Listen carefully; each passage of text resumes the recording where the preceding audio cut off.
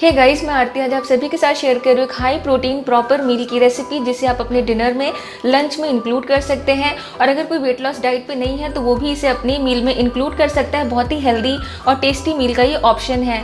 तो यहाँ पे ये रेसिपी जो मैं शेयर कर रही हूँ, इसमें दो लोगों की सर्विंग है। पर सर्विंग आपको तीन सौ नब्बे कैलोरीज मिल रही हैं और करीब आपको सत्रह ग्राम के आसपास प्रोटीन मिल रहा है। तो इसको कैसे बनाना, आइए फटाफट से मैं आपको बताती हूँ। बट सबसे पहले अगर आप अपनी वेट लॉस डाइट पर हैं तो आपको कोई भी आप जो भी सामान अपने डाइट में इंक्लूड कर रहे हैं, कोई भी खाने की चीज़, उसमें कितनी कैलोरीज अगर आप वो जानना चाहते हैं तो उसके लिए आपको उसका वेट पता होना चाहिए। तो उसके लिए मैं आपको सजेस्ट करूँगी, आप इस तरह का कोई एक मशीन खरीद लीजिए, जो कि अमेज़ोन पर आपको ईजिली मिल जाएगा 300 से 500 के अंदर मिल जाता है।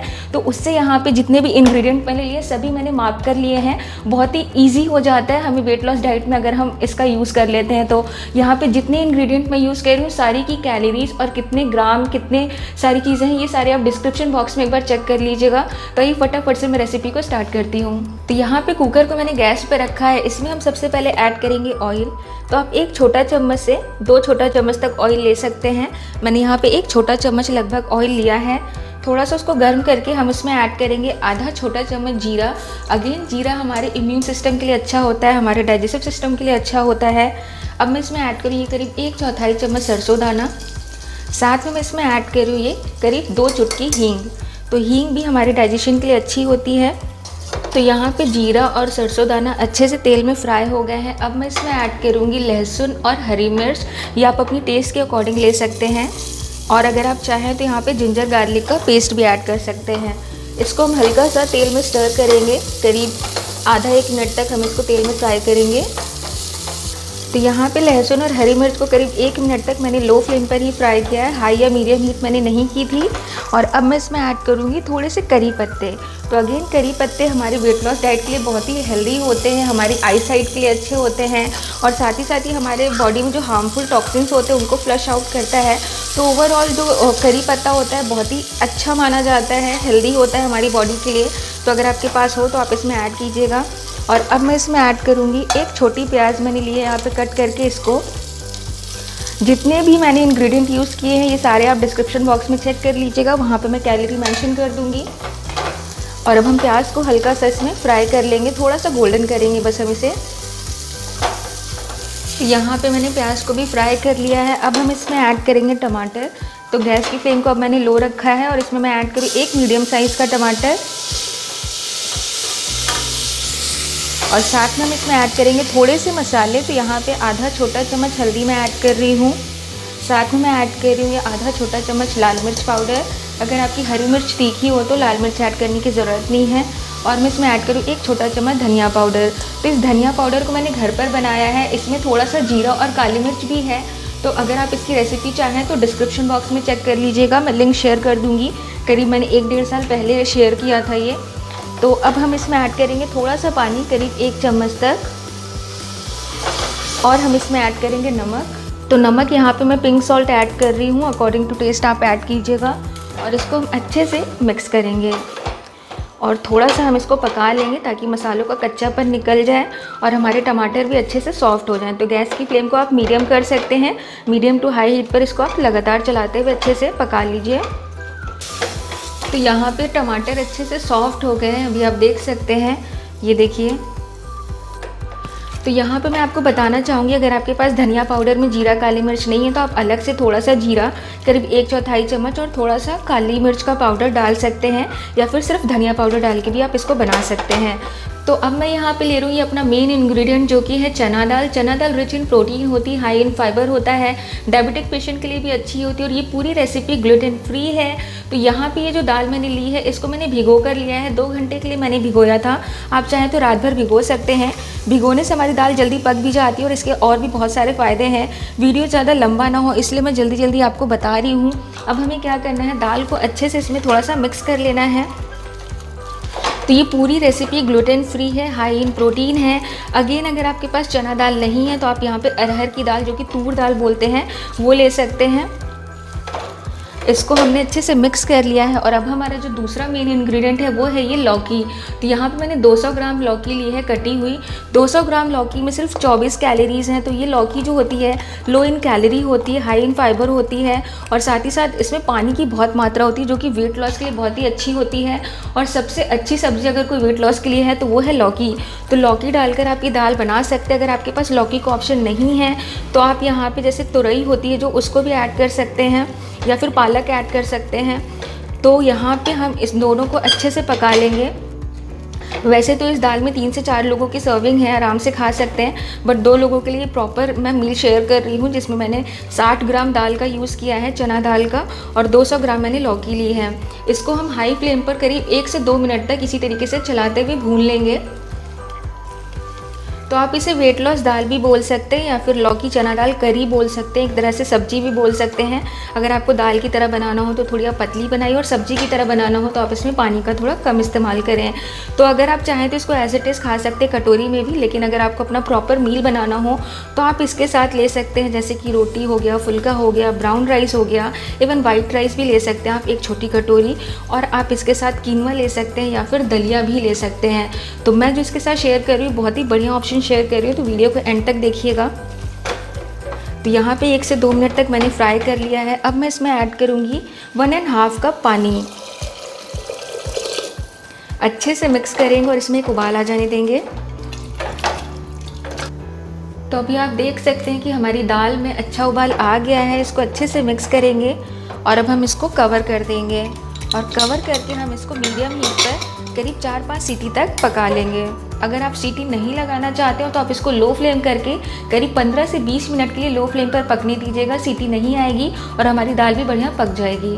तो एक तरफ़ हमारी दाल पक रही, इधर हम आगे की तैयारी कर लेते हैं। यहाँ पे मैंने 40 ग्राम ही फ्रेश पनीर ली है। आप 40 से 50 ग्राम तक ले सकते हैं।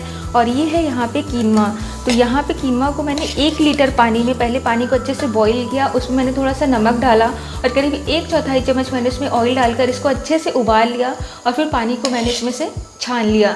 तो ये हमारा बढ़िया कीनवा पककर तैयार है आप देख सकते हैं। और यहाँ पे ये जो कीनवा है, मैंने 80 ग्राम कीनवा लिया था। अगर आपके पास मशीन नहीं है जिस पे आप वेट कर सके तो यहाँ पे आधा कप लगभग आप कीनवा लीजिएगा और इसको इस तरीके से बॉईल कर लीजिएगा।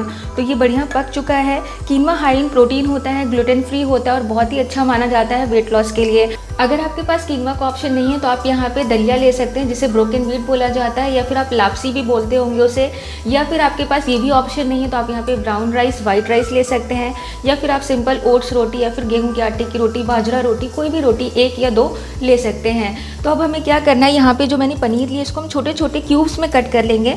आप चाहें तो बड़ा बड़ा भी कर सकते हैं, लेकिन हम इसे छोटा छोटा क्यूब्स में कट करेंगे, इस तरीके से। पतला पतला, छोटा छोटा एकदम।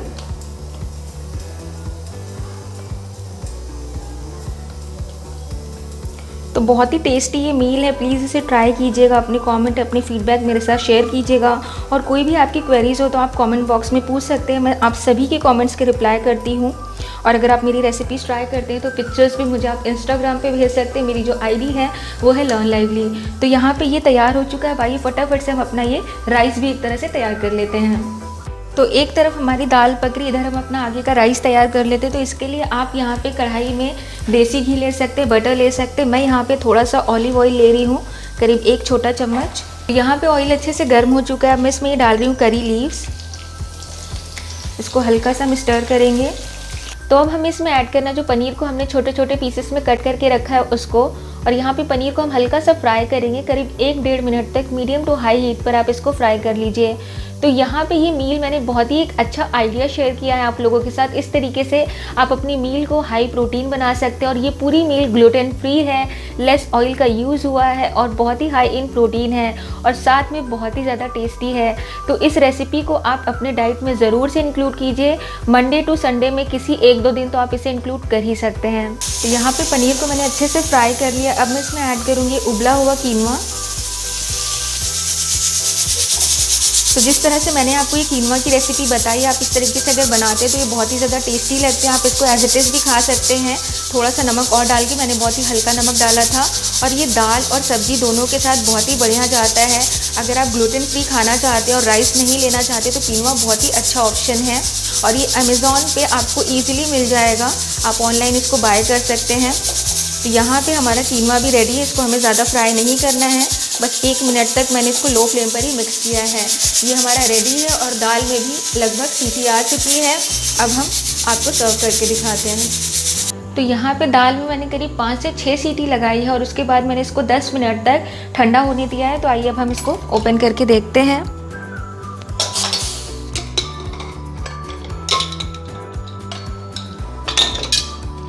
तो आइए चेक करते हैं दाल हमारी पकी है कि नहीं। तो दाल हमारी अच्छे से पक चुकी है। चना दाल को हम मैश करके देखते हैं। ये देखिए, यहाँ पे दाल मैश हो जा रही है। तो अब हम इसमें क्या करेंगे? हरी धनिया अगर आपके पास हो तो ऐड कीजिए। और इसको अच्छे से स्पैचुला से थोड़ा सा मिक्स कर दीजिए। इस तरीके से मैश करते हुए, जिससे कि हमारी दाल थोड़ी सी टूट जाएगी। तो ये दाल बहुत ही टेस्टी लगती है और बहुत ही इजी टू प्रिपेयर है। इस दाल को आप ज़रूर से ट्राई कीजिएगा और सबसे अच्छी बात है कि बहुत ही ज़्यादा हेल्दी है। और ये रेसिपी डायबिटिक पेशेंट है, किसी का हाई कोलेस्ट्रॉल है थायराइड है पीसीओएस पीसीओडी है, सभी के लिए बहुत ही परफेक्ट है। तो ये देखिए हमारी बढ़िया टेस्टी सी दाल बनकर तैयार है। तो आइए मैं आपको फटाफट इसको सर्व करके दिखाती हूँ। तो सबसे पहले मैं आपको दाल को सर्व करके दिखा देती हूँ। ये दाल, रोटी राइस दोनों के साथ ही बहुत ही बढ़िया लगेगी और आप इसको एज इट इज़ कटोरी में लेकर भी खा सकते हैं। दो लोगों की मैंने सर्विंग शेयर करी है। पर सर्विंग आपको इसमें 390 कैलोरी के आसपास मिल रही हैं जो कि बहुत ही बढ़िया है हमें डिनर और लंच में इंक्लूड करने के लिए। और मैं आपको यहाँ पे एक बात बताना चाहूँगी अगर आप ये राइस मील बना लेते हैं आई I मीन mean, अगर आप सिंगल पर्सन हैं तो आप ये दो लोगों का मील बनाकर जैसे आपने लंच में खाया तो आप थोड़ा सा अपना बचा लीजिए फ्रिज में रख लीजिए फिर आप डिनर में इसको गर्म करके खा सकते हैं। या फिर अगर आप डिनर में बना रहे हैं तो आपका अगर बच जाता है तो भी आप फ्रिज में रख सकते हैं और नेक्स्ट डे आप इसे लंच या डिनर में ले सकते हैं। तो अब मैं आपको राइस को भी सर्व करके दिखा देती हूँ। आई मीन हमारा कीनवा राइस ये भी बहुत ही टेस्टी लगता है खाने में और दोनों का कॉम्बिनेशन बहुत ही परफेक्ट है। अगर आप अपनी डाइट में राइस नहीं लेना चाहते तो कीनवा को इंक्लूड कर लीजिए। तो अगर आपको मेरा वीडियो पसंद आया हो, थोड़ा भी हेल्पफुल लगा हो तो प्लीज़ इसे लाइक ज़रूर कीजिएगा। अपने फ्रेंड्स और फैमिली में से शेयर कीजिएगा। बहुत ही ज़्यादा मोटिवेशन मिलती है ऐसे वीडियोस और शेयर करने की। तो थोड़ी सी हरी धनिया में दाल के ऊपर स्प्रिंकल कर रही हूँ और थोड़ा सा मैं ये राइस पे भी स्प्रिंकल कर रही हूँ। तो ये देखिए, हमारा बहुत ही टेस्टी प्यारा सा यमी सा मील बनकर तैयार है। प्लीज़ इसे ट्राई कीजिएगा कॉमेंट और फीडबैक शेयर कीजिएगा। मैं आपको जल्द मिलती हूँ एक नेक्स्ट वीडियो के साथ। Till then eat happy and stay happy bye bye take care